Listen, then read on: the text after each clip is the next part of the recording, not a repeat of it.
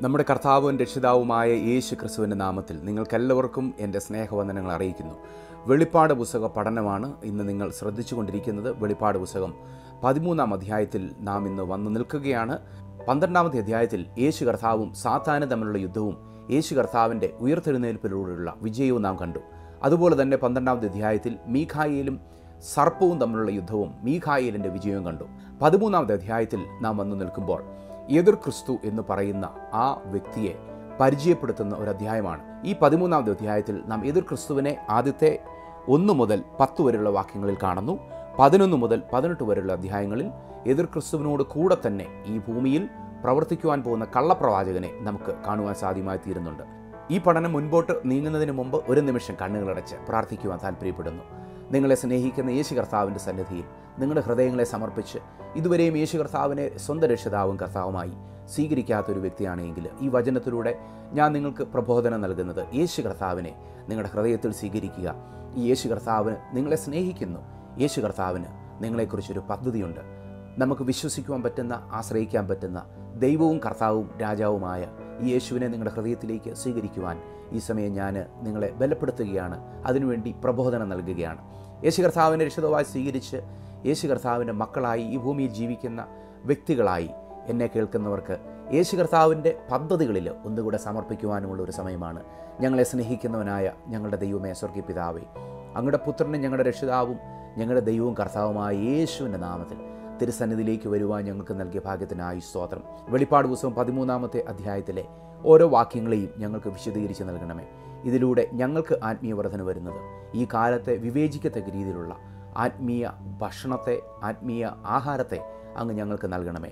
ആത്മീയ ജ്ഞാനം കൊണ്ട് ഞങ്ങളെ നിറയ്ക്കണമേ. പ്രാർത്ഥന കെട്ടതിനായി സ്തോത്രം. യേശുവിന്റെ നാമത്തിൽ തന്നെ. ആമേൻ. എതിർ ക്രിസ്തുവിനെ നാം പരിചയപ്പെടുവാനായി പോവുകയാണ്. എതിർ ക്രിസ്തുവിന് വിശുദ്ധ വേദപുസ്തകത്തിൽ ഏകദേശം ഇരുപതോളം പേരുകൾ നൽകിയിട്ടുണ്ട്. അതിലേക്കും ഏറ്റവും പ്രധാനപ്പെട്ടതും ഏറ്റവും കൂടുതൽ ഉപയോഗിക്കുന്നതുമായിട്ടുള്ള പേരാണ് ആന്റൈ ക്രൈസ്റ്റ് എതിർ ക്രിസ്തു എന്നുള്ളത്. യേശു ക്രിസ്തു സ്ത്രീയുടെ സന്തതിയാണെങ്കിൽ പിശാജ് സർപ്പത്തിന്റെ സന്തതിയാണ്.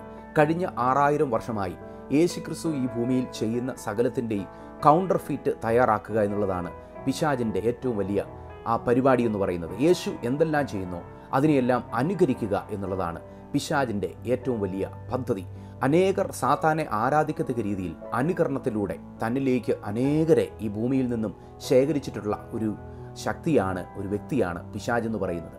കഴിഞ്ഞ ആറായിരം വർഷമായി മാനവജാതിയെ ചതിച്ചുകൊണ്ടിരിക്കുന്ന പിശാജ് ഏറ്റവും അവസാനമായി അധർമ്മത്തിന്റെ മൂർത്തിയായി ഈ പിശാജ് വെളിപ്പെടുത്തുന്ന അല്ലെങ്കിൽ പരിചയപ്പെടുത്തുന്ന ഏറ്റവും അവസാനത്തെ ഏറ്റവും വലിയ കൗണ്ടർ ഫിറ്റാണ് എതിർ ക്രിസ്തു എന്ന് പറയുന്നത്. യേശു ക്രിസ്തു ആണ് മഷിഹയാണെന്നുള്ള തെറ്റിദ്ധരിപ്പിക്കലോടുകൂടിയാണ് എതിർ ക്രിസ്തു ഈ ഭൂമിയിൽ പ്രത്യക്ഷപ്പെടുന്നത് തന്നെ. യേശു കർത്താവിനെ ആരാധിക്കുന്ന മക്കളെ പിശാചിന് ഇഷ്ടമില്ല.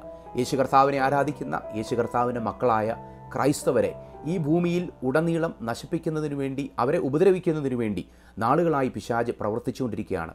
ക്രിസ്തുവിന് എതിരായിട്ടുള്ളൊരു മനോഭാവം ഈ ഭൂമിയിലുണ്ട്. ക്രൈസ്തവർക്ക് എതിരായിട്ടുള്ള മനോഭാവം ഈ ഭൂമിയിലുണ്ട്.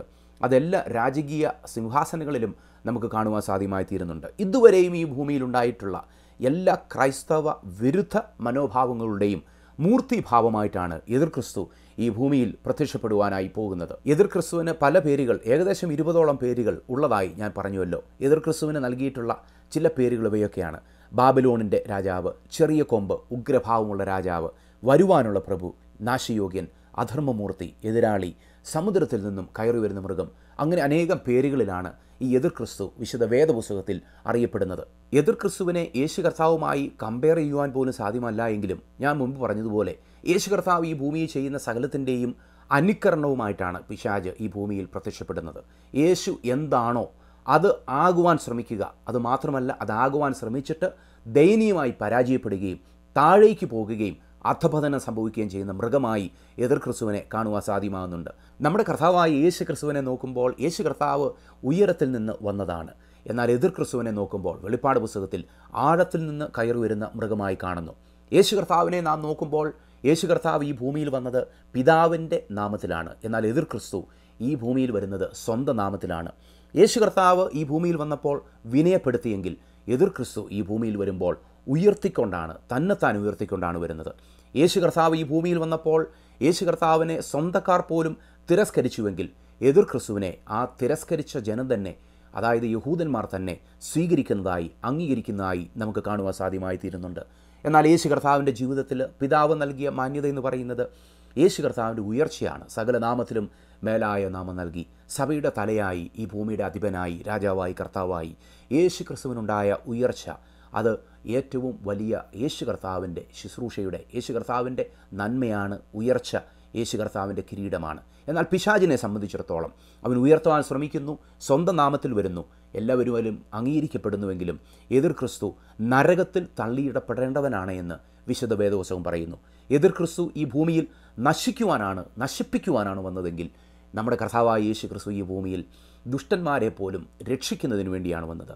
നമ്മുടെ കർത്താവായ യേശു ക്രിസ്തു നല്ല ഇടയനാണെങ്കിൽ എതിർ ക്രിസ്തു തന്റെ ജനത്തിന്റെ കൗലിടയനായി മോശ ഇടയനായി ദുഷ്ടതയുള്ള ഇടയനായി കാണുന്നതായി നമുക്ക് കാണുവാൻ സാധ്യമായിത്തീരുന്നു.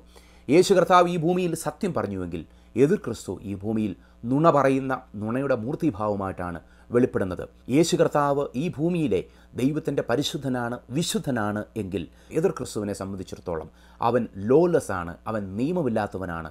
നിയമ ഇല്ലാത്തവനായി ദൈവത്തിനെതിരെ സംസാരിക്കുന്നവനായി നിയമത്തിനെതിരെ പറയുന്നവനായി വിശുദ്ധ വേദപുസ്തകത്തിനെതിരെ സംസാരിക്കുന്നവനായി എതിർ ക്രിസ്തു ഈ ഭൂമിയിൽ വരുന്നു. നമ്മുടെ കർത്താവായ യേശു ക്രിസ്തു ഈ ഭൂമിയിൽ വന്നപ്പോൾ ദൈവത്തിന്റെ സകല സമ്പൂർണതയും തന്നിൽ ദേഹരൂപമായി വസിച്ചുവെങ്കിൽ എതിർ ക്രിസ്തു ഈ ഭൂമിയിൽ വരുമ്പോൾ അധർമ്മത്തിന്റെ സകല പൂർണതയും തന്റെ ശരീരത്തിൽ വഹിച്ചുകൊണ്ടാണ് ഈ ഭൂമിയിൽ വരുന്നത്.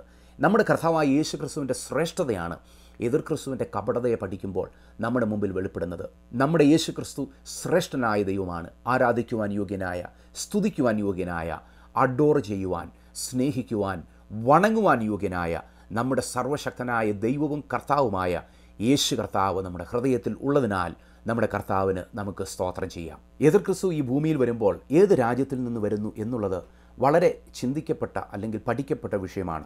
എതിർ ക്രിസ്തു കടലിൽ നിന്ന് കയറി വരുന്ന മൃഗമായി വെളിപ്പാട് പുസ്തകം പതിമൂന്നാം അധ്യായത്തിൽ നാം കാണുന്നത് കൊണ്ട് തന്നെ എതിർ ക്രിസ്തു മദ്യതരണിക്കടലിൽ എന്നാണ് അതിന്റെ അർത്ഥം. മദ്യതരണിക്കടലാണ് അവിടുത്തെ കടൽ.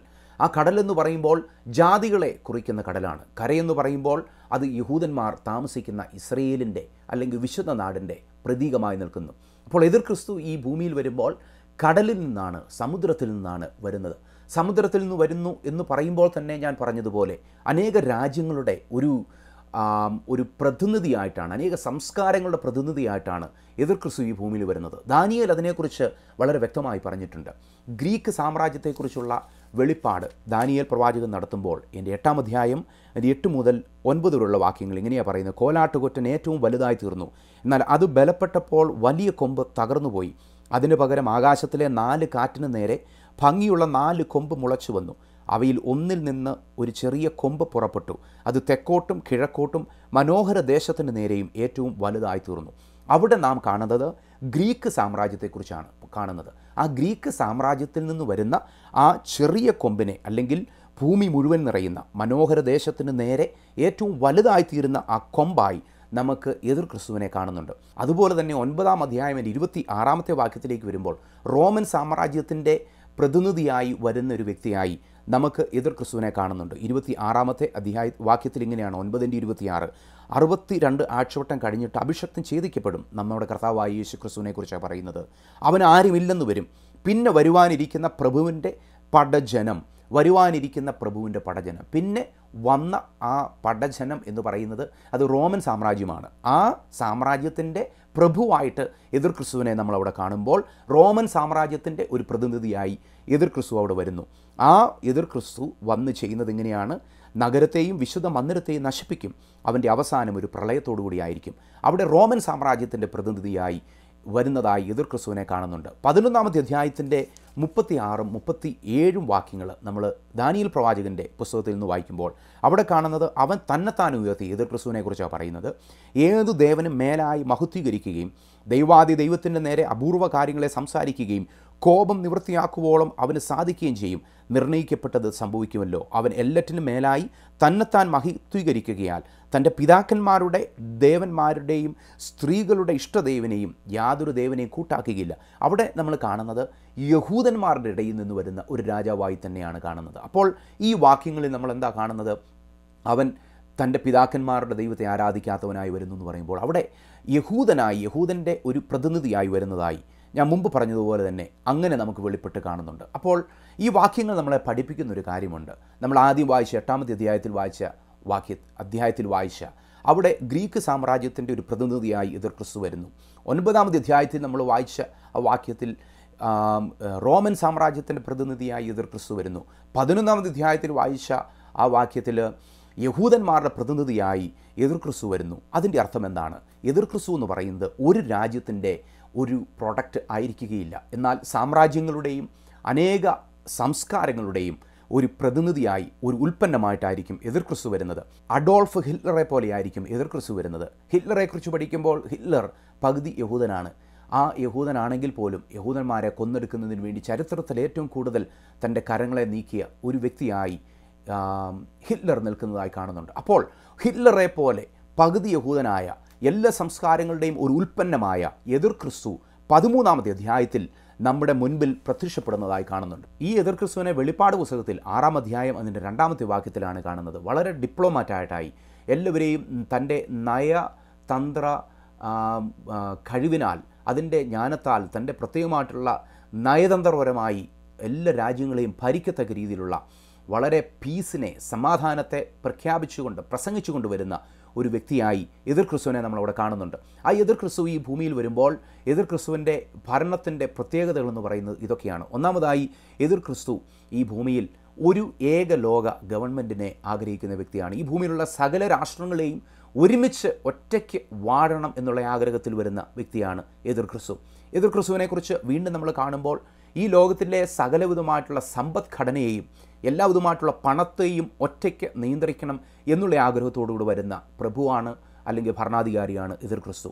ഈ ഭൂമിയിലുള്ള എല്ലാവിധമായിട്ടുള്ള മതങ്ങളെയും ഒരുമിച്ചാക്കണം എന്നുള്ള ആഗ്രഹത്തോടുകൂടെ വിശ്വാസത്തിന്റെ ആ ഒരു ഒരുമിപ്പിക്കൽ ആഗ്രഹിച്ചുകൊണ്ട് ഈ ഭൂമിയിൽ വരുന്ന ഭരണാധികാരിയായിട്ടാണ് എതിർ ക്രിസ്തുവിനെ നമുക്ക് കാണുവാൻ സാധ്യമായി തീരുന്നത് ദൈവമില്ലാത്ത ഒരു പുതിയ മതത്തെ എതിർ ക്രിസ്തു ഈ ഭൂമിക്ക് പരിചയപ്പെടുത്തുവാനായി പോകുന്നു. തെസലോനിക്കർക്ക് എഴുതിയ രണ്ടാം ലേഖനത്തിലേക്ക് നാം വരുമ്പോൾ അതിനെ നമുക്ക് വ്യക്തമായി കാണുവാൻ സാധ്യമായി തീരുന്നുണ്ട്. രണ്ട് തെസലോനിക്കർ രണ്ടാം അധ്യായം അതിന്റെ നാലാമത്തെ വാക്യത്തിൽ അവൻ ദൈവാലയത്തിൽ ഇരുന്നു കൊണ്ട് ദൈവം എന്ന് നടിച്ചു ദൈവം എന്ന് നടിച്ചു ദൈവമെന്നോ പൂജാവിഷയമെന്നോ പേരുള്ള സകലത്തിനും മീതെ തന്നെത്താൻ ഉയർത്തുന്ന എതിരാളി അത്രേ ആ ദൈവാലയം എന്ന് പറയുന്ന യഹൂദനു വേണ്ടി ആ എതിർ ക്രിസ്തു സമ്മാനിക്കുവാൻ പോകുന്ന ആ ദൈവാലയമാണ്. ആ ദൈവാലയത്തിൽ ഇരുന്നു കൊണ്ട് ദൈവമാണെന്ന് നടിച്ചുകൊണ്ട് ദൈവമെന്നോ പൂജാവിഷയമെന്നോ പറയുന്ന സകലത്തിലും മീതെ എന്ന് പറയുമ്പോൾ ദൈവത്തിനു മീതെ ഉള്ള സിംഹാസനം. അപ്പോൾ അവിടെ ആ പഴയ ലൂസിഫറിന്റെ മനോഭാവമാണ് വീണ്ടും ഒരിക്കൽ കൂടെ വെളിപ്പെടുന്നത്.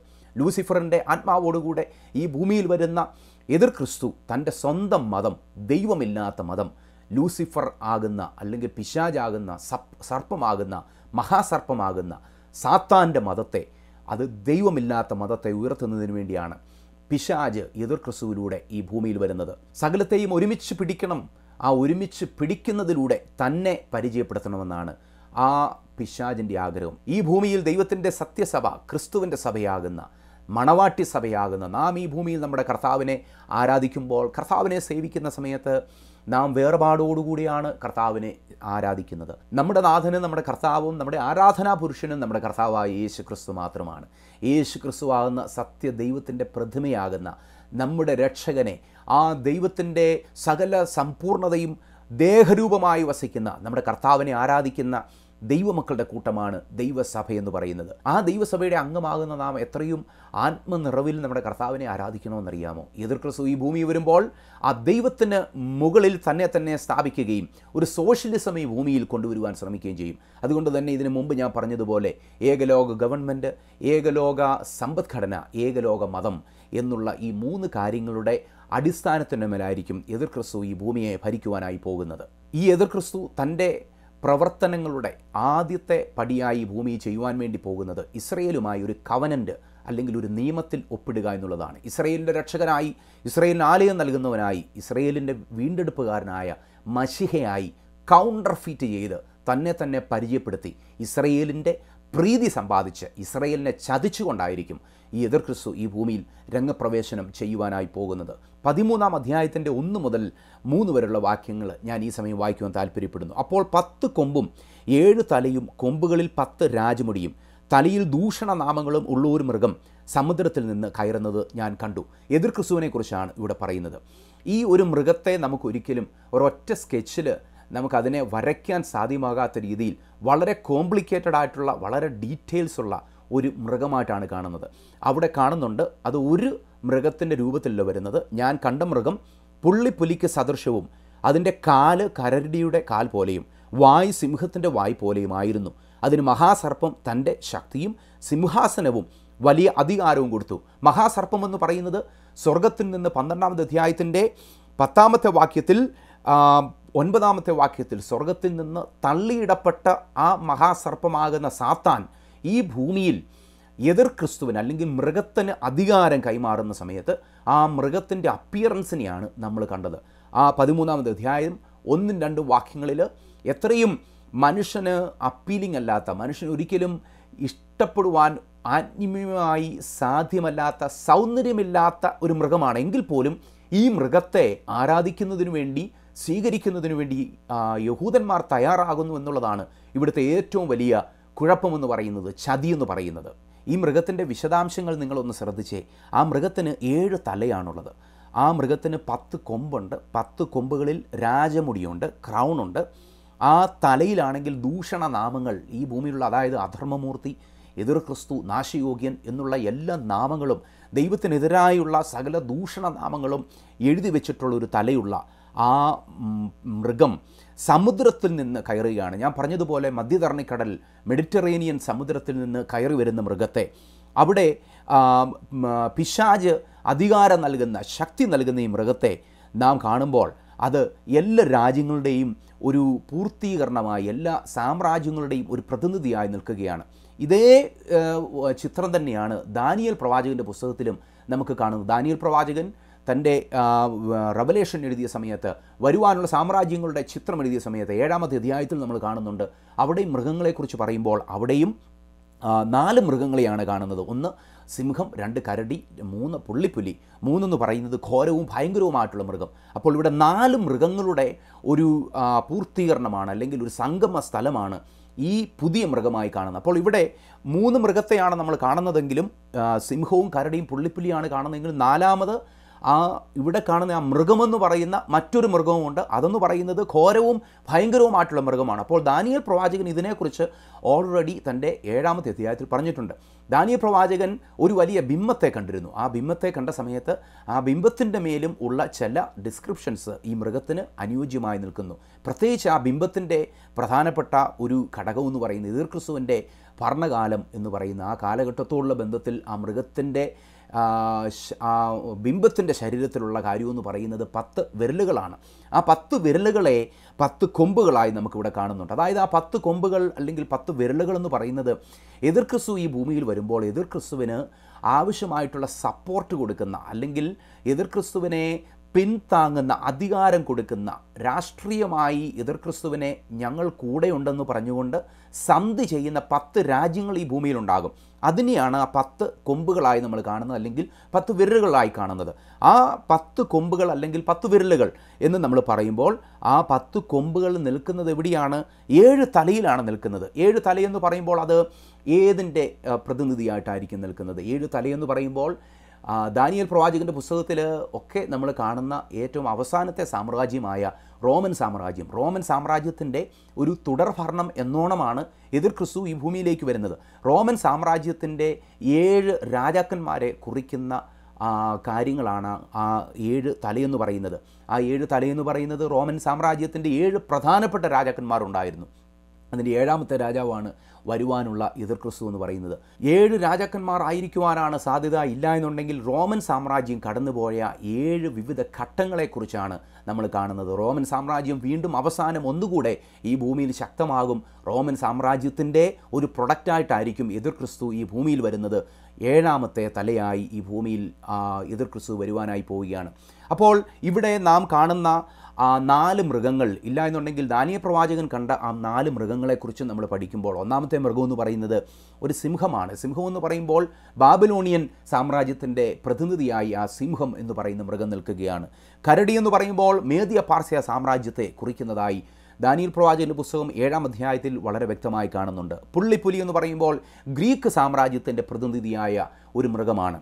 ഘോരവും ഭയങ്കരവുമായിട്ടുള്ള അവസാനത്തെ മൃഗമെന്ന് പറയുന്നത് റോമൻ സാമ്രാജ്യത്തിന്റെ പ്രതിനിധിയാണ്. അപ്പോൾ ഇവിടെ വീണ്ടും നാം ആവർത്തിച്ച് കാണുന്ന കാര്യമെന്ന് പറയുന്നത് ഈ എതിർ ക്രിസ്തു എന്ന് പറയുന്നത് സകല സാമ്രാജ്യങ്ങളുടെയും രാജാക്കന്മാരുടെയും രാജ്യങ്ങളുടെയും പ്രതിനിധിയായിട്ടായിരിക്കും ഈ ഭൂമിയിൽ വരുന്നത്.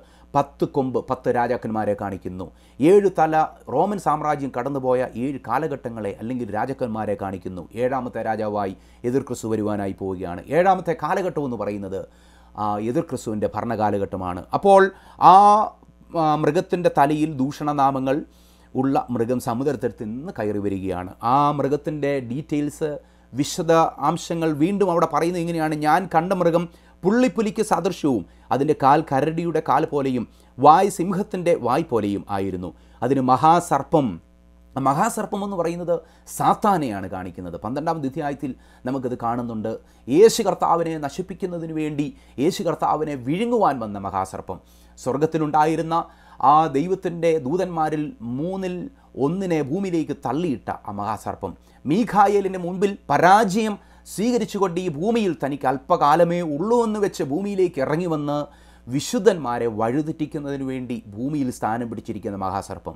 ആ മഹാസർപ്പം എതിർ ക്രിസ്തുവിന് എന്ത് നൽകുന്നു? അധികാരം നൽകുന്നു. അതിന്റെ തലകളിൽ ഒന്ന് മരണകരമായ മുറിവേറ്റതുപോലെ ഞാൻ കണ്ടു. അതിന്റെ മരണകരമായ മുറിവ് പുറത്തുപോയി സർവഭൂമിയും മൃഗത്തെ കണ്ട് വിസ്മയിച്ചു. ഇവിടെ നാം കണ്ട മുറിവേറ്റ തലയെന്ന് പറയുന്നത് എതിർക്രിസ്തു തന്നെയാണ്. ഈ മൃഗത്തിന്റെ തലകളിൽ ഒന്നിൽ മാരകമായിട്ടുള്ളൊരു മുറിവ് പറ്റുകയും ആ മുറിവ് പറ്റിയെങ്കിലും ആ മുറിവിൽ നിന്ന് മരിച്ചു പോകാതെ ഒരു രീതിയിലുള്ള ഒരു പുതുജീവൻ പ്രാപിച്ചുകൊണ്ട് മരണകരമായിട്ടുള്ള മുറിവ് പുറത്തുപോയി എന്നിട്ട് ആ മൃഗം ഒന്നുകൂടെ ശക്തിപ്പെടുന്നു എന്ന് പറയുമ്പോൾ എതിർ ക്രിസ്തുവിന് തന്റെ വാഴ്ചയുടെ ഏഴ് വർഷത്തെ ഈ വാഴ്ചയുടെ നടുവിൽ തന്നെ ആ വാഴ്ചയുടെ ഒരു ഭാഗത്ത് എവിടെയോ ഒരു മാരകമായിട്ടുള്ള മുറിവ് പറ്റുവാനുള്ള സാധ്യതയിലേക്കാണ് ആ വേദഭാഗം വിരൽ ചൂണ്ടുന്നത്.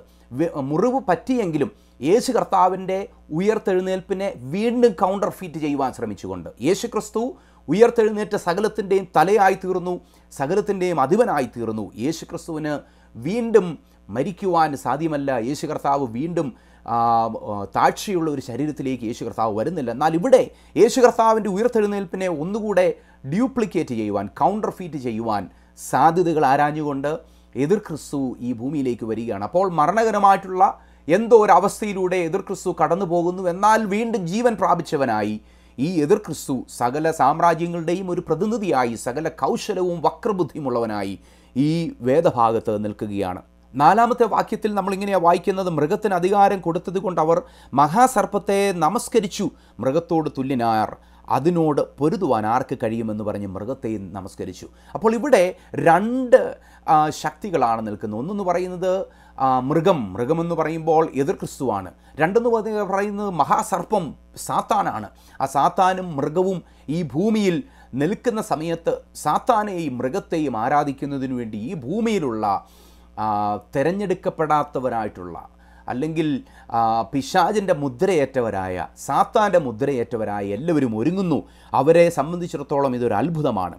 അഞ്ചാമത്തെ വാക്യത്തിൽ ഇങ്ങനെയാണ് കാണുന്നത് വമ്പും ദൂഷണവും സംസാരിക്കുന്ന വായി അതിന് ലഭിച്ചു. വമ്പും ദൂഷണവും എന്ന് പറയുമ്പോൾ ദൈവത്തിനെതിരായിട്ടുള്ള വമ്പാണ് ദൈവത്തിന് മുകളിലുള്ള വമ്പാണ്. ദൂഷണം എന്ന് പറയുമ്പോൾ ദൈവമക്കൾക്കെതിരെ ഉള്ള വമ്പാണ് അല്ലെങ്കിൽ പ്രത്യേകിച്ച് യഹൂദന്മാർക്കെതിരെയുള്ള വമ്പാണ്. എന്തിനെക്കുറിച്ചാണ് വമ്പ് പറയുന്നതെന്ന് അവിടെ പറയുന്നുണ്ട്.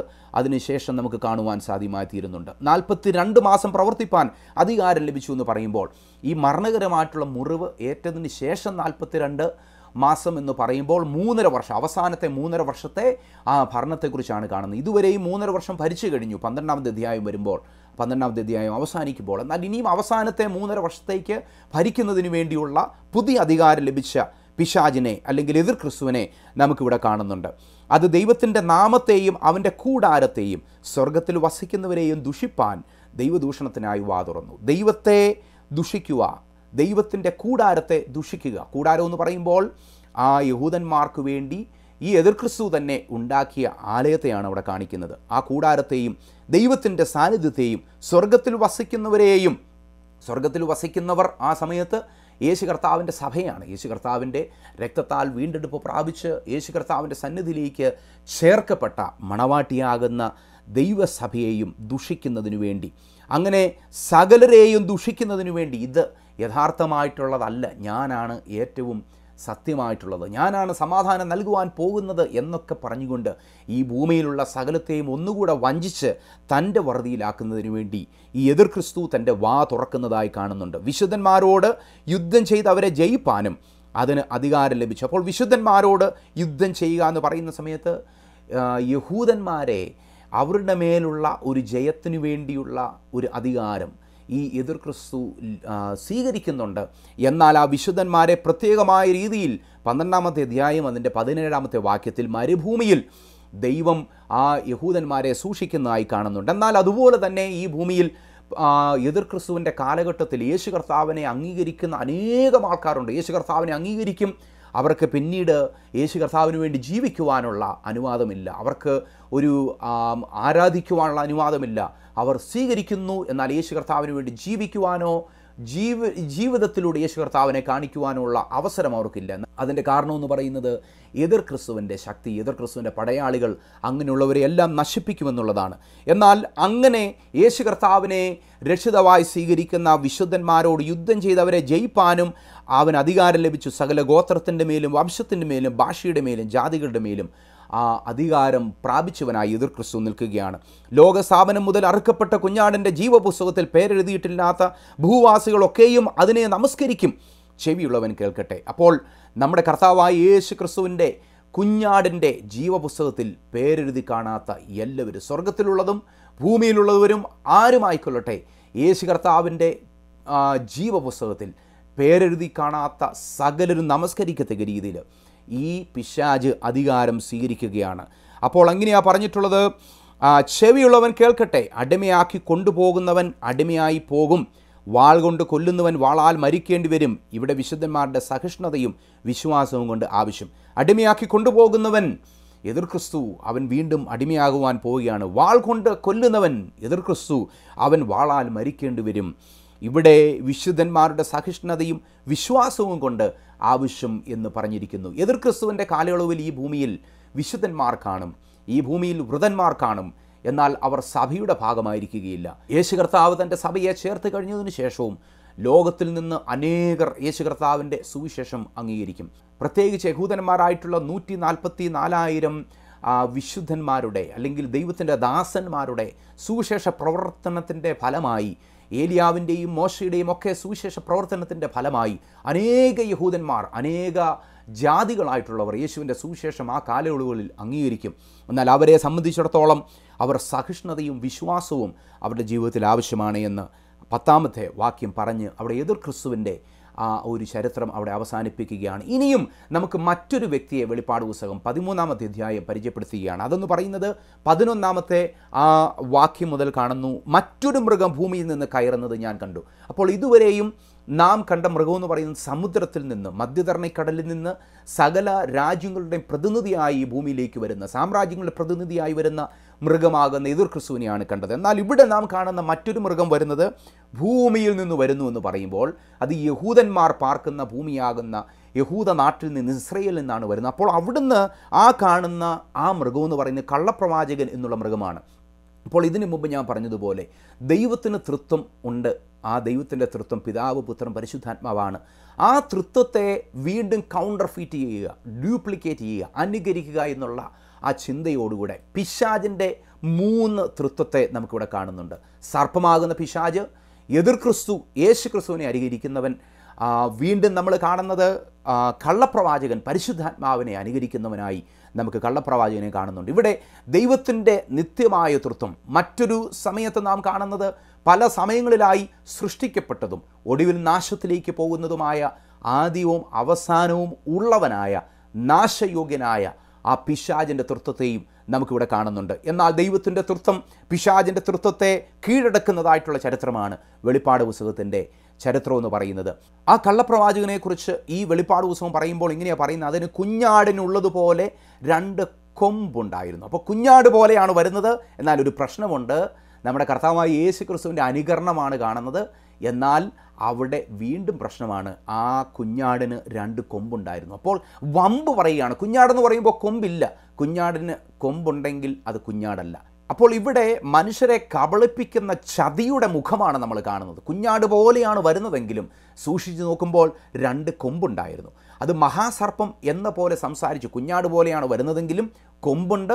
പിന്നെ സർപ്പം സംസാരിക്കുന്ന പോലെ സംസാരിച്ചു. അപ്പോൾ മഹാസർപ്പമാകുന്ന സാത്താൻ എങ്ങനെ സംസാരിക്കുന്നോ അതുപോലെ തന്നെ സംസാരിക്കത്തക്ക രീതിയിൽ പിശാജിന്റെ വായായിട്ട് ഈ കള്ളപ്രവാചകൻ പറയുകയാണ്. അപ്പോൾ ഇതുവരെയും പിശാജിനു വേണ്ടി സംസാരിക്കുന്നതിന് വേണ്ടി ഒഫീഷ്യലായി പിശാജ് തിരഞ്ഞെടുക്കുന്ന ഒരു വ്യക്തിയാണ് കള്ളപ്രവാചകൻ എന്ന് പറയുന്നത്. ഈ കള്ളപ്രവാചകൻ ഭൂമിയിൽ നിന്ന് വരുന്നു എന്നുള്ളത് കൊണ്ട് തന്നെ ഒരു നല്ല സാധ്യതയെന്ന് പറയുന്നത് ഈ കള്ളപ്രവാചകൻ ഒരു പൂർണ യഹൂദനായിരിക്കും. കാരണം ഈ കള്ളപ്രവാചകനാണ് യഥാർത്ഥമായും മൃഗത്തെ നമസ്കരിക്കുന്നതിന് വേണ്ടിയും ഈ മൃഗമാകുന്ന എതിർക്രിസ്തുവാണ് മഷിയ എന്ന് പറയത്ത പറഞ്ഞ് യഹൂദ ജനതയെ കബളിപ്പിച്ചുകൊണ്ട് വഞ്ചനയിലേക്ക് നയിക്കുന്നത് പിശാചിന്റെ ആലോചന പറഞ്ഞ് വഞ്ചനയിലേക്കും ഈ എതിർ ക്രിസ്തുവിനോടുള്ള ആരാധനയോടുള്ള ബന്ധത്തിൽ നയിക്കുന്നത് ഈ കള്ളപ്രവാചകന്റെ ആലോചനയാണ്. അപ്പോൾ നോക്കുക യഹൂദന്മാർക്ക് ഏറ്റവും പ്രീതിയുള്ള ഒരു വ്യക്തിയായിട്ടായിരിക്കും കള്ളപ്രവാചകൻ ഈ ഭൂമിയിൽ നിലനിൽക്കുന്നത്. അപ്പോൾ പിശാചിന്റെ തൃത്വം ഇവിടെ പതിമൂന്നാമത് അധ്യായത്തിൽ ഒരുമിച്ച് വരുന്നതായി നമ്മൾ കാണുന്നുണ്ട്.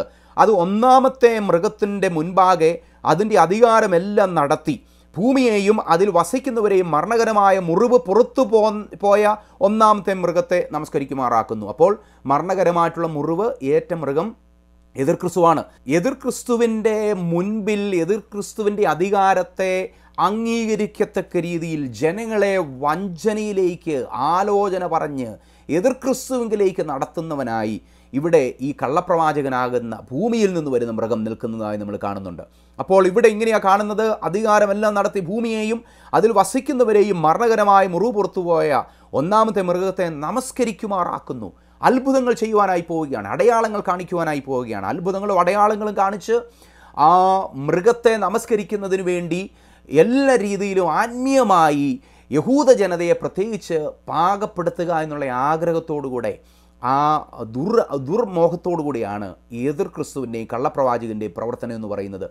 അത് മനുഷ്യർ കാണെ ആകാശത്ത് നിന്ന് ഭൂമിയിലേക്ക് തീയിറങ്ങുമാറാക്കി തീയിറങ്ങുമാറ് വലിയ അടയാളങ്ങൾ പ്രവർത്തിക്കുകയും ഏലിയ ഏലിയാവാണ് ഈ ഭൂമിയിൽ തീയിറക്കിയത്. അപ്പോൾ ഏലിയാവ് മോശയും ഏലിയാവും ഇതിനു മുമ്പ് വരുന്നതായി നമ്മൾ പന്ത്രണ്ട് പതിനൊന്നാം അധ്യായത്തിൽ കണ്ടു. യഹൂദന്മാരെ സംബന്ധിച്ചിടത്തോളം സ്വർഗത്തിൽ നിന്നൊക്കെ തീയിറങ്ങുക എന്ന് പറയുന്നത് ചെറിയ കാര്യമല്ല. സ്വർഗത്തിൽ നിന്നൊക്കെ ആരെങ്കിലും തീയിറക്കിയാൽ അവന്റെ പുറകെ പോകും യഹൂദൻ കാരണം. അവരുടെ ഏറ്റവും ബഹുമാനിക്കപ്പെടുന്ന ഒരു പ്രവാചകനായ ഏലിയാവ് അങ്ങനെ ചെയ്തിട്ടുണ്ട്. ഇവിടെ നോക്കണേ സകലതുമായിട്ടുള്ള വഞ്ചനയും തന്റെ ശരീരത്തിൽ സ്വീകരിച്ചുകൊണ്ട് എങ്ങനെയെങ്കിലും ഈ ഭൂമിയിലുള്ള യഹൂദന്മാർ ഈ മൃഗമാകുന്ന അല്ലെങ്കിൽ സമുദ്രത്തിൽ നിന്ന് കയറുവന്ന മൃഗമാകുന്ന എതിർ ക്രിസ്തുവിനെ ആരാധിക്കണമെന്നുള്ള ആഗ്രഹത്തോടുകൂടെ യഹൂദന്മാർ വിശ്വസിക്കത്തക്ക രീതിയിൽ അത്ഭുതങ്ങളെ കാണിച്ചുകൊണ്ട് യഹൂദന്മാരുടെ നടുവിലേക്ക് പോകുന്ന യഹൂദന്മാരെ വശീകരിക്കുവാൻ പോകുന്ന കള്ളപ്രവാചകന്റെ പ്രവൃത്തിയാണ് നമ്മളിവിടെ കാണുന്നത്.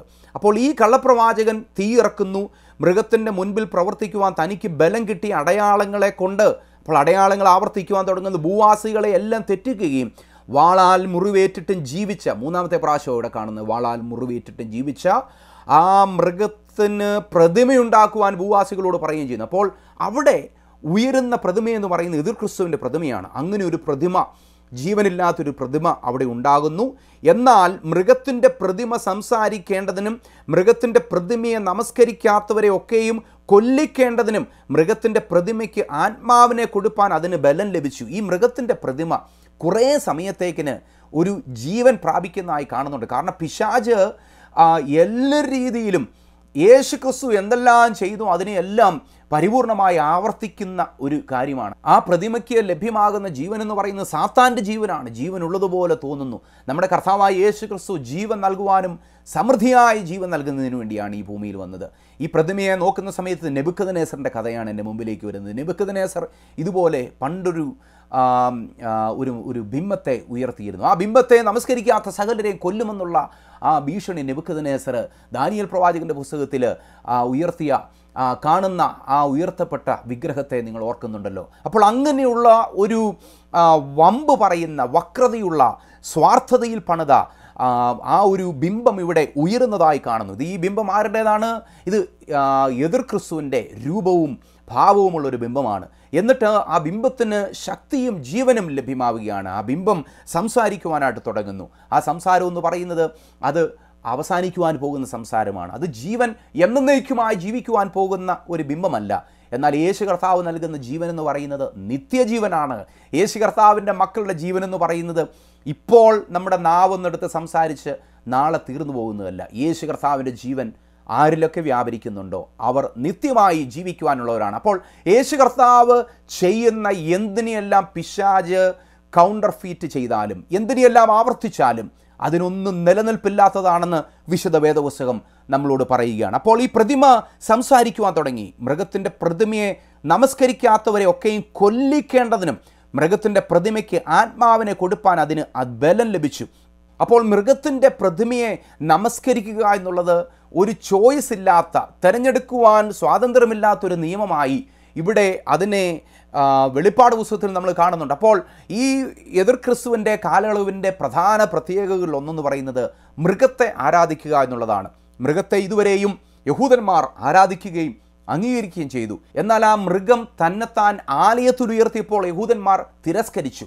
ആ യഹൂദന്മാരെ നശിപ്പിക്കുന്നതിനു വേണ്ടി ഈ മൃഗം എഴുന്നേൽക്കുകയും ചെയ്തു എന്നാൽ മൃഗത്തിൽ നിന്ന് യഹൂദന്മാരെ രക്ഷിക്കുന്നതിനു വേണ്ടി ദൈവം മരുഭൂമിയിൽ ഒരു പ്രൊവിഷൻ ഓൾറെഡി ഒരുക്കി കഴിഞ്ഞു. എന്നാൽ ബാക്കിയുള്ള ഭൂമിയിലുള്ള സകല ജനതകളെയും ആ മൃഗത്തിന്റെ ആരാധനയിലേക്ക് കൊണ്ടുവരുന്നതിന് വേണ്ടി ഇനി വരുന്ന മൂന്നര വർഷം എങ്ങനെയെങ്കിലും പ്രവർത്തിക്കണമെന്നുള്ള ആഗ്രഹത്തോടുകൂടെ പിശാജ് മുന്നേറുന്നതായി നമുക്കിവിടെ കാണുന്നുണ്ട്. അപ്പോൾ ഇനിയും നമ്മൾ കാണുന്നത് പ്രത്യേകിച്ച് ഇതുവരെയും എതിർ ക്രിസ്തുവിന്റെ കാലയളവിൽ ഉണ്ടായിരുന്നതും എന്നാൽ മൂന്നര വർഷമാകുന്ന സമയത്ത് ഏറ്റവും കഠിനമായി അതിനെ അതിനെ അനുവർത്തിക്കുവാൻ പോകുന്നതുമായിട്ടുള്ള മറ്റൊരു നിയമം വരികയാണ്. എതിർ ക്രിസ്തുവിന്റെ കാലയളവിന്റെ പ്രധാനപ്പെട്ട പ്രത്യേകതകൾ ഒന്നെന്ന് പറയുന്നത് വൺ വേൾഡ് എക്കോണമി അത് പ്രത്യേകിച്ച് അതിന്റെ ഏറ്റവും മൂർധന്യാവസ്ഥയിൽ ഏറ്റവും കഠിനമായിട്ടുള്ള അവസ്ഥയിൽ ഈ ഭൂമിയിൽ വെളിപ്പെടുവാൻ പോകുന്ന എതിർ ക്രിസ്തുവിന്റെ ഏഴ് വർഷത്തെ ഭരണകാലത്തിന്റെ മധ്യഭാഗത്തായിരിക്കും ഏറ്റവും കൂടുതൽ. എന്നാൽ അതിന്റെ ഓൾറെഡി അതിന്റെ സിസ്റ്റം എതിർ ക്രിസ്തു തന്റെ ഭരണവാഴ്ചയുടെ ആദ്യ സമയത്ത് തന്നെ അത് ചെയ്യും. ഇനിയും അടുത്തതായി എതിർ ക്രിസ്തു കൈയാളുവാൻ പോകുന്ന വസ്തുത എന്ന് പറയുന്നത് മനുഷ്യരുടെ ക്രയവിക്രയ വസ്തുതകളാണ്. അല്ലെങ്കിൽ മനുഷ്യൻ എന്തെങ്കിലും വാങ്ങിക്കുകയോ വിൽക്കുകയോ വേണമെന്നുണ്ടെങ്കിൽ എതിർ ക്രിസ്തുവിന്റെ അറിവോടുകൂടെ അത് സാധ്യമാവുകയുള്ളൂ. അപ്പോൾ ഇപ്പോൾ ഇവിടെ എതിർ ക്രിസ്തു എന്തൊക്കെ കാര്യങ്ങളാണ് കൈയാളുന്നത്? ഒന്ന് ഈ ഭൂമിയുടെ മുഴുവൻ ഗവൺമെന്റ് ഏറ്റെടുത്തു. രണ്ട് ഈ ഭൂമിയുടെ ആരാധന ഏറ്റെടുത്തു. മൂന്നെന്ന് പറയുന്നത് ഈ ഭൂമിയുടെ എക്കോണമി സമ്പദ്ഘടന ഏറ്റെടുത്തു. ആ സമ്പദ്ഘടന ഏറ്റെടുത്ത വിധമാണ് പതിനാറ് പതിനേഴ് പതിനെട്ട് വാക്യങ്ങൾ കാണുന്നത്. അത് ചെറിയവരും വലിയവരും സമ്പന്നന്മാരും ദരിദ്രന്മാരും സ്വതന്ത്രന്മാരും ദാസന്മാരുമായ എല്ലാവർക്കും വലം കൈമേലോ നെറ്റിമേലോ മുദ്ര കിട്ടുമാറും മൃഗത്തിന്റെ പേരോ പേരിന്റെ സംഖ്യയോ ആയ മുദ്രയുള്ളവനല്ലാതെ വാങ്ങുകയോ വിൽക്കുകയോ ചെയ്യുവാൻ വഹിയാത്തതും ആകുന്നു. ഇവിടെ ജ്ഞാനം കൊണ്ട് ആവശ്യം ബുദ്ധിയുള്ളവൻ മൃഗത്തിന്റെ സംഖ്യ ഗണിക്കട്ടെ. അത് ഒരു മൃഗത്തിന്റെ സംഖ്യ എത്രേ? അതിന്റെ സംഖ്യ അറുന്നൂറ്റി അറുപത്തി ആറ് ഈ മൂന്ന് വാക്യങ്ങളിൽ നമ്മൾ കാണുന്നത് ഈ ഭൂമിയുടെ സകല ക്രയവിക്രയങ്ങളെയും തന്റെ കൈപ്പടിയിൽ ഒതുക്കുന്ന എതിർ ക്രിസ്തുവിനെയാണ് നമുക്ക് കാണുവാൻ സാധ്യമായി തീരുന്നത്. എതിർ ക്രിസ്തുവിന്റെ വാഴ്ചയുടെ കാലത്ത് ഒരു പ്രത്യേകമായ സജ്ജീകരണത്തിലൂടെ ഈ ഭൂമിയുടെ സകല സമ്പദ്ഘടനയും ഈ ഭൂമിയിലുള്ള സകല ബാങ്ക് അക്കൗണ്ടുകളും തന്റെ കരവിരുതലാക്കുന്നതിന് വേണ്ടി കരപരിധിയിലാക്കുന്നതിന് വേണ്ടി പിശാജ് ശ്രമിക്കും എതിർ ക്രിസ്തു ശ്രമിക്കും. ആ എതിർ ക്രിസ്തു ശ്രമിക്കുന്ന സമയത്ത് അവിടെ ഒരു സംഖ്യ വെളിപ്പെട്ട് കാണുന്നുണ്ട്. അതിന്റെ സംഖ്യ എന്ന് പറയുന്നത് അറുന്നൂറ്റി അറുപത്തിയാറ് പലവിധമായിട്ടുള്ള വ്യാഖ്യാനങ്ങളും അറുന്നൂറ്റി അറുപത്തി കുറിച്ച് കാണുന്നുണ്ട്. ആ അറുന്നൂറ്റി അറുപത്താറ് എന്തെന്ന് വ്യക്തമായി നമ്മൾ മനസ്സിലാക്കണമെന്നുണ്ടെങ്കിൽ കൃത്യമായി അറിയണമെന്നുണ്ടെങ്കിൽ എതിർ ക്രിസ്തുവിന്റെ ഭരണം ഈ ഭൂമിയിൽ തുടങ്ങിയേ മതിയാവുകയുള്ളൂ. അതുവരെയും നമുക്ക് പല രീതിയിലും നമുക്ക് ഊഹിക്കാം. ഒരുപക്ഷെ കമ്പ്യൂട്ടർ ബേസ്ഡ് ആയിട്ടുള്ള മൈക്രോ ചിപ്പുകളായിരിക്കാം. അത് തലമേലോ നെറ്റിമേലോ ഇംപ്ലാന്റ് ചെയ്യുന്ന ആർ എഫ് ഐ ഡി ചിപ്പുകളായിരിക്കാം ഒരു പക്ഷേയെങ്കിൽ എന്നാൽ വരുന്ന കാലങ്ങളിൽ ടെക്നോളജി എങ്ങോട്ടാണ് പോകുന്നതെന്ന് ഒരിക്കലും പ്രവചിക്കാൻ പറ്റാത്ത രീതിയിലാണ് ടെക്നോളജി ദിവസങ്ങളിൽ അത് വളർന്നുകൊണ്ടിരിക്കുന്നത്. അത് ഏത് രീതിയിലാണ് മനുഷ്യന്റെ സകലത്തിനെയും നിയന്ത്രിക്കുവാൻ പോകുന്നതെന്ന് നമുക്കറിയില്ല. ഈ പ്രത്യേകമായിട്ടുള്ള കാലഘട്ടത്തിൽ ഇതൊക്കെയും സാധ്യമായി തീരുമോ എന്നുള്ളൊരു ചോദ്യമുണ്ട്. ജസ്റ്റ് ഒരു എക്സാമ്പിൾ മാത്രം മതിയല്ലോ. ഇത് സാധ്യമാണ് എന്നുള്ളത് തെളിയിക്കുന്നതിന് വേണ്ടി. ഈ കഴിഞ്ഞ നാളുകളിലൊക്കെ സകല രാജ്യങ്ങളും അവർ ഒരുപോലെ എടുത്തൊരു തീരുമാനമുണ്ട്. വാക്സിൻ ഇല്ല എന്നുണ്ടെങ്കിൽ ഒരുത്തനും യാത്ര ചെയ്യണ്ട. വാക്സിൻ ഇല്ല എന്നുണ്ടെങ്കിൽ ഒരുത്തനും ഒരിടത്തും പോകണ്ട. അവനവന്റെ ഭവനത്തിലിരുന്നോട്ടെ അവനവന്റെ പട്ടണങ്ങളിലിരുന്നോട്ടെ. എത്രയും സിമ്പിളായിട്ടുള്ളൊരു കാര്യമാണ് ഒരു മഹാമാരിയെ തുരത്തുന്നതിന് വേണ്ടി മഹാമാരിയിൽ നിന്നും അവനവന്റെ ജനതയെ സംരക്ഷിക്കുന്നതിന് വേണ്ടി വാക്സിനെ നൽകുകയും അതിനെ മാൻഡറ്റോറിയായി ജനങ്ങളുടെ മേൽ അടിച്ചേൽപ്പിക്കുകയും ചെയ്യുന്ന ഒരു അനുഭവം. ഇവിടെ ഞാൻ ഒരിക്കലും പറയുന്നില്ല വാക്സിൻ അറുന്നൂറ്റി അറുപത്താറാണെന്ന് ബൈബിളിൽ അങ്ങനെ ഒരു സൂചനയും ഉണ്ടാകുന്നില്ല. വാക്സിൻ എന്ന് പറയുന്നത് അതൊരു മരുന്നാണ്. അത് ശരീരത്തിൽ മഹാമാരിയെ പ്രതിരോധിക്കുന്നതിന് വേണ്ടിയും അത് അത് പകരാതിരിക്കുന്നതിന് വേണ്ടി തടയുന്നതിന് വേണ്ടിയിട്ടുള്ള ഒരു മരുന്ന് മാത്രമാണ്. പക്ഷേ അത് മറ്റൊരു യാഥാർത്ഥ്യത്തിലേക്കാണ് വിരൽ ചൂണ്ടുന്നത്. ഇറ്റ് ഈസ് പോസിബിൾ അത് സാധ്യമാണ്. അങ്ങനെ ഒരു സിസ്റ്റത്തിലേക്ക് ഈ ഭൂമിയിലുള്ള സകല മനുഷ്യരുടെയും സഞ്ചാരങ്ങളെയും അവരുടെ ബാങ്ക് അക്കൗണ്ടുകളെയും ക്രയവിക്രയങ്ങളെയും ഒക്കെ തടയുവാനും ക്രമീകരിക്കുവാനും അതിനെ നിയന്ത്രിക്കുവാനും സാധ്യമാകുന്ന ഒരു സിസ്റ്റം ഈ ഭൂമിയിൽ കൊണ്ടുവരിക എന്നുള്ളത് അനായാസമാണ്. അത് ചെയ്യുന്നതിന് വേണ്ടി ഒരു ഇരുപത്തിനാല് മണിക്കൂർ പോലും ഇന്നത്തെ കാലയളവിൽ ഒരു ഗവൺമെന്റിനും ആവശ്യമില്ല. ആ ഇരുപത്തിനാല് മണിക്കൂറിനുള്ളിൽ ഈ ഭൂമിയിലുള്ള സകല മനുഷ്യരെയും അവരുടെ കൈയുടെ കീഴിൽ ആ കൊണ്ടുവരണമെന്ന് പറഞ്ഞാൽ അവരുടെ കയ്യിൽ കൊണ്ടുവരണമെന്ന് പറഞ്ഞാൽ സാധ്യമാകത്തക്ക രീതിയിൽ ഇന്നത്തെ സകല ജനതകളും ഒരുപോലെ മറ്റൊരു സിസ്റ്റത്തിന് വേണ്ടി അവർ വെയിറ്റ് ചെയ്യുകയാണ്. ഇറ്റ് ഈസ് പോസിബിൾ അങ്ങനെയുള്ള ഒരു കാലയളവ് ഈ ഭൂമിയുടെ മേൽ വരുവാനായി പോകുന്നു. എതിർ ക്രിസ്തുവിന്റെ പെർമിഷൻ ഇല്ലാതെ കടുക് പോലും വാങ്ങിക്കുവാൻ സാധ്യമല്ല. ഈ ഭൂമിയിൽ നിങ്ങൾ വിചാരിക്കരുത്. പലരും പ്രസംഗിക്കുന്നതൊക്കെ ഇങ്ങനെയാണ്. എതിർ ക്രിസ്തു ഈ ഭൂമിയിൽ വാഴുവാനായി പോകുന്നു. അതുകൊണ്ട് നിങ്ങളെല്ലാം നിങ്ങൾക്ക് പറ്റുമെന്നുള്ള രീതിയിൽ ഈ ഭൂമിയിൽ നിന്ന് ഗ്രെയിൻസ് അല്ലെങ്കിൽ വിത്തുകളും സീഡുകളെല്ലാം ശേഖരിച്ചു വെക്കുക ധാന്യങ്ങൾ ശേഖരിച്ചു വെക്കുക ക്യാനിനകത്ത് ഭക്ഷണങ്ങൾ തയ്യാറാക്കുക. അങ്ങനെയുള്ള എൻഡ് ടൈം ഇതിനു വേണ്ടിയുള്ള സജ്ജീകരണങ്ങൾ തയ്യാറെടുപ്പുകൾ നടത്തുന്ന അനേക ജനതകളുണ്ട് അനേക രാജ്യങ്ങളുണ്ട് അങ്ങനെ ചെയ്യുന്ന അനേക വിശ്വാസികളുണ്ട്. എന്നാൽ ഞാനൊരു കാര്യം പറയട്ടെ.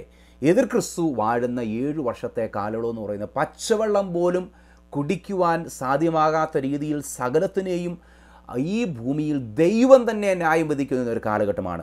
എതിർക്രിസ്തുവിന്റെ പൂർണ നിയന്ത്രണത്തിനല്ല ഈ ഏഴു വർഷം നിൽക്കുന്നത് ദൈവം സ്വർഗത്തിൽ നിന്ന് ഇതേ സമയത്ത് തന്നെ ഈ ഭൂമിയുടെ മേൽ ന്യായവിധി കൽ- കൽപ്പിച്ചുകൊണ്ടിരിക്കുകയാണ്. അപ്പോൾ നോക്ക് എതിർ ക്രിസ്തുവിന്റെ വാഴ്ച എന്ന് പറയുന്നത് പരിപൂർണമായും തന്റെ നിയന്ത്രണത്തിലിരിക്കുന്ന ഒരു കാലഘട്ടമല്ല. എന്നാൽ പരിപൂർണമായും ദൈവത്തിന്റെ ന്യായവിധിയോടുള്ള ബന്ധത്തിൽ ഈ ഭൂമിയെ ദൈവം തന്നെ ന്യായം വിധിക്കുന്ന ഒരു കാലഘട്ടമാണ്. ഈ ഭൂമിയിലെ സകല രാജാക്കന്മാരെയും രാജ്യങ്ങളെയും പ്രധാനമായും എതിർ ക്രിസ്തുവിനെയും ദൈവം ഈ ഭൂമിയിൽ ധാർഷ്ട്യത്തോടുകൂടെ നിൽക്കുന്ന സകലരെയും ന്യായം വിധിക്കുന്ന കാലഘട്ടമാണ്. ആ എതിർ ക്രിസ്തുവിന്റെ ഭരണവാഴ്ചയാകുന്ന ഏഴ് വർഷം എന്ന് പറയുന്നത്. സ്വർഗത്തിൽ നിന്നും വളരെ വലിയ കെടുതികൾ ഈ ഭൂമിയിലേക്ക് വരും. ഉൽക്കകൾ വീഴും. ഈ ഭൂമിയിലുള്ള സകല നീരുകളും വറ്റിപ്പോകും. കൂരിരുട്ടുകൾ ഉണ്ടാകും. തീ ഉണ്ടാകും. ഈ ഭൂമിയിൽ എല്ലാ വെള്ളങ്ങളും പരിപൂർണമായും പൊള്യൂറ്റഡ് ആകും അപ്പോൾ നിങ്ങളെ സഹായിക്കുവാൻ ഈ ഭൂമിയിൽ ഒന്നിന് സാധ്യമാവുകയില്ല. അതുകൊണ്ട് തന്നെയാണ് ആ മഹാകഷ്ടകാലം എന്ന് പറയുന്ന യഹൂദനെ പ്രിപ്പയർ ചെയ്യുന്നതിന് വേണ്ടി മഷിഹയെ സ്വീകരിക്കുന്നതിന് വേണ്ടി ചതിയിൽ പോയ ആ യഹൂദനെ വീണ്ടെടുക്കുന്നതിന് വേണ്ടി യഹൂദന്റെ മത്സരത്തെ അവസാനിപ്പിക്കുന്നതിന് വേണ്ടിയും സകല ലോക രാജ്യങ്ങളെയും ന്യായം വിധിക്കുന്നതിന് വേണ്ടിയും സകല സാമ്രാജ്യങ്ങളെയും ഇതുവരെയും അടയ്ക്കുവാണ് പിശാചിനെ ന്യായം വിധിക്കുന്നതിന് വേണ്ടിയും പിശാചിനെയും യഹൂദന്മാരെയും ഒരുക്കുന്ന കാലഘട്ടമാണ് ഏഴു വർഷത്തെ കാലഘട്ടം എന്ന് പറയുന്നത്. ആ കാലഘട്ടത്തിൽ നിന്നും ദൈവം തന്റെ മക്കളെ സൂക്ഷിക്കും രക്ഷിക്കും എന്ന് തന്നെയാണ് വെളിപ്പാട് പുസ്തകം മൂന്നാം അധ്യായം എന്റെ പത്താമത്തെ വാക്യത്തിൽ പറയുന്നത്. അപ്പോൾ ഒരിക്കലും തെറ്റിദ്ധരിക്കരുത്. ഏഴ് വർഷകാലം എന്ന് പറയുന്ന സഭയുടെ ശുദ്ധീകരണ കാലഘട്ടമാണെന്നല്ല. സഭയെ ഇപ്പോൾ യേശു കർത്താവ് ശുദ്ധീകരിച്ചുകൊണ്ടിരിക്കുകയാണ്. വിശുദ്ധീകരണം എന്നുള്ള ആത്മീയ പ്രോസസ്സിലൂടെ സഭയെ ദൈവം കൂട്ടിക്കൊണ്ടു പോവുകയാണ് ആ ദൈവം ആ സഭയെ വിവിധ ശിക്ഷണങ്ങളാൽ വിവിധമായിട്ടുള്ള വിശുദ്ധന്മാരുടെ ദൈനംദിന ജീവിതത്തിൽ ഉണ്ടാകുന്ന പ്രയാസങ്ങളുള്ള ബന്ധത്തിൽ ക്രൂശെടുത്ത് തന്നെ അനുഗമിക്കുന്ന ദൈവമക്കളെ യേശു ശുദ്ധീകരിച്ച് അവരെ തന്റെ സന്നിധിയിലേക്ക് താൻ ചേർക്കുകയും അവരെ പ്രൊട്ടക്റ്റ് ചെയ്യുകയും ചെയ്യും. എന്നാൽ യഹൂദൻ ഇനിയും പണിയപ്പെടേണ്ടതായിട്ടുണ്ട് ലോകത്തിലെ സകല രാജ്യങ്ങളും ഇനിയും പണിയപ്പെടേണ്ടതായിട്ടുണ്ട് സകല ധാർഷ്ട്യങ്ങളും സകല മത്സരങ്ങളും യേശു ക്രിസ്തുവിനെതിരായി എതിരായിട്ടുള്ള സകല മത്സരബുദ്ധികളും പൂർണമായും സമർപ്പിക്കപ്പെടേണ്ടതായിട്ടുണ്ട്. അതിനുവേണ്ടിയുള്ള ഒരു കാലഘട്ടമാണ് യാക്കോബിന്റെ കഷ്ടകാലമാകുന്ന അവസാനത്തെ ഏഴു വർഷത്തെ എതിർ ക്രിസ്തുവിന്റെ ഭരണകാലം എന്ന് പറയുന്നത്. ആകയാൽ മഹത്വകരമായിട്ടുള്ള പ്രത്യാശയിലേക്കാണ് നമ്മുടെ കർത്താവ് നമ്മളെ വിളിച്ചിട്ടുള്ളത്. He has called us to a blessed hope നമ്മുടെ കർത്താവായ യേശു ക്രിസ്തു തന്നെ സ്നേഹിക്കുന്നവരെ സ്വീകരിക്കുന്നതിന് വേണ്ടി ഒരു പ്രത്യേക ക്രമീകരണം ഈ ഭൂമിയുടെ മേൽ യേശു കർത്താവ് ഒരുക്കിയിട്ടുണ്ട്. ഈ യേശു കർത്താവിനെ നിങ്ങൾക്ക് ഇതുവരെയും നിങ്ങളുടെ ഹൃദയത്തിൽ സ്വീകരിക്കുവാൻ സാധ്യമായിട്ടില്ലെങ്കിൽ ഇപ്പോഴാകുന്നു രക്ഷാ ദിവസം ഇപ്പോഴാകുന്നു സുപ്രസാദകാലം. യേശുവിനെ നിങ്ങളുടെ ഹൃദയത്തിലേക്ക് സ്വീകരിക്കുക. ഒരു മനുഷ്യനും നിൽക്കുവാൻ സാധ്യമാകാത്ത കഷ്ടകാലം വരുന്നു. അതിനു മുമ്പ് യേശു കർത്താവ് ഒരുക്കിയിരിക്കുന്ന പെട്ടകത്തിൽ കയറുക സഭയാകുന്ന പെട്ടകത്തിൽ കയറി രക്ഷപ്പെടുക. നമ്മുടെ കർത്താവ് നമ്മളെ അനുഗ്രഹിക്കട്ടെ. ഞങ്ങളെ സ്നേഹിക്കുന്നവനായ ഞങ്ങളുടെ ദൈവമേ സ്വർഗി പിതാവ് ഈ ഭൂമിയുടെ മേൽ അങ്ങ് വരുത്തുവാൻ പോകുന്ന സകല ന്യായവിധികളെയും സകല ആമേൻ മത്സരങ്ങളെയും അവസാനിപ്പിക്കുന്ന ദൈവിക പദ്ധതിയെയും വായിക്കുവാൻ പഠിക്കുവാൻ ഞങ്ങളുടെ ജീവിതത്തിൽ ഒരുക്കിയ ഭാഗ്യത്തിനായി സ്തോത്രം. ഏക സത്യദൈവമായ ഞങ്ങളുടെ കർത്താവായ യേശു ക്രിസ്തുവിനെ ആരാധിക്കുവാൻ ഈ ഭൂമിയിൽ ഞങ്ങൾക്ക് നൽകിയ ഭാഗ്യത്തിനായി സ്തോത്രം ചെയ്യുന്നു. ഈ ഭൂമിയിൽ വരുവാനുള്ള എല്ലാ ദുർഘട ദിവസങ്ങളിൽ നിന്നും അങ്ങയുടെ മക്കളാകുന്ന ഞങ്ങളെ രക്ഷിക്കുന്നതിന് വേണ്ടിയുള്ള നിത്യമായിട്ടുള്ള മഹത്വപരമായിട്ടുള്ള മഹത്വമുള്ള പദ്ധതിയുടെ മുമ്പിൽ ഞങ്ങളെ തന്നെ സമർപ്പിക്കുകയാണ്. ഈ ഭൂമിയിൽ അങ്ങയെ പിൻപറ്റുന്ന ഞങ്ങളുടെ മക്കൾക്ക് അവരുടെ കുരു ക്രൂശെടുത്ത് അങ്ങയെ പിൻപറ്റുവാനുള്ള കൃപയും ശക്തിയും ബലവും അങ്ങ് നൽകണമേ. അനുദിനം വിശ്വസ്തയോടുകൂടി അങ്ങ് ആരാധിക്കുവാൻ അങ്ങയുടെ മക്കളെ പഠിപ്പിക്കണമേ. തിരുസന്നിധിയിലേക്ക് ഞങ്ങളെ സകലരെ സമർപ്പിക്കുകയാണ്. ഇനിയും യേശുവിന്റെ സുവിശേഷം അംഗീകരിക്കുവാൻ അനേകർ ഈ ഭൂമിയിലുണ്ടല്ലോ. അവരെ ഈ സുവിശേഷത്തിലേക്ക് നയിക്കുവാൻ അങ്ങ് ഞങ്ങളെ സഹായിക്കണമേ. അങ്ങയുടെ വരവിൽ എടുക്കപ്പെടുവാൻ അങ്ങയുടെ വരവിൽ അങ്ങയുടെ സന്നിധിയിൽ ചേർക്കപ്പെടുവാൻ വിശുദ്ധിയോടുകൂടെ ജീവിക്കുവാൻ അങ്ങ് ഞങ്ങളെ സഹായിക്കണമേ. അങ്ങ് ഞങ്ങളുടെ പ്രാർത്ഥന കേട്ടതിനായി സ്തോത്രം. യേശുവിന്റെ നാമത്തിൽ തന്നെ ആമേൻ. വെളിപ്പാട് പുസ്തകം പതിമൂന്നാം അധ്യായം ഇവിടെ അവസാനിച്ചിരിക്കുന്നു. ഇനിയുമുണ്ട് കുറച്ച് അധ്യായങ്ങൾ കൂടെ. അതൊക്കെയും എന്നോടുകൂടെ പഠിക്കുവാൻ നിങ്ങൾക്ക് സാധ്യമാകും എന്ന് ഞാൻ പരിപൂർണമായിട്ട് വിശ്വസിക്കുന്നു. എന്റെ പേര് ബ്ലസ്സൻ ചെറിയാൻ. ഞാൻ ഈ ശുശ്രൂഷ ടൊറോണ്ടോയിൽ നിന്നാണ് ചെയ്യുന്നത്. കർത്താവിന്റെ വരവ് താമസമായാൽ ഈ ഭൂമിയിൽ ഒരുമിച്ച് ആരാധിക്കുവാനുള്ള അവസരങ്ങൾ കർത്താവ് നൽകട്ടെ എന്ന് ഞാൻ ആത്മാർത്ഥമായി പ്രാർത്ഥിക്കുന്നു. ഇതുവരെയും കർത്താവിൽ ആശ്രയിച്ച് ഞാൻ പഠിപ്പിച്ച പന്ത്രണ്ട് അധ്യായങ്ങളും യൂട്യൂബിലൊക്കെ കിടപ്പുണ്ട്. അത് നിങ്ങൾ എടുത്ത് കാണണം. അത് നിങ്ങൾ പഠിക്കണം. എന്നോട് കൂടെ ഈ വെളിപ്പാട് പുസ്തക പഠനയാത്രയിൽ പങ്കുചേരണമെന്ന് ഞാൻ നിങ്ങളോട് കർത്താവിന്റെ എളിയദാസൻ എന്നുള്ള നിലയിൽ അപേക്ഷിക്കുന്നു. ദൈവം നമ്മളെ എല്ലാവരെയും ധാരാളമായി അനുഗ്രഹിക്കുമാറാകട്ടെ.